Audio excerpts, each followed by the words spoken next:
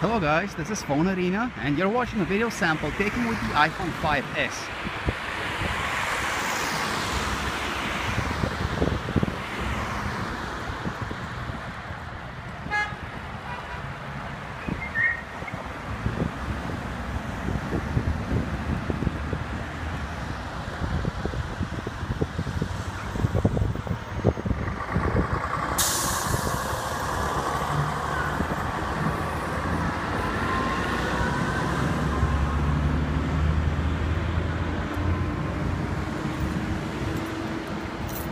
Now we're gonna test the focusing of this camera.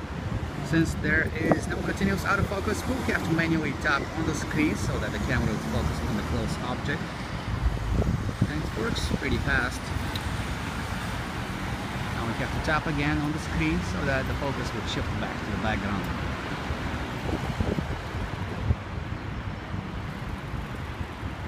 Okay, that was a video sample taken with the iPhone 5s.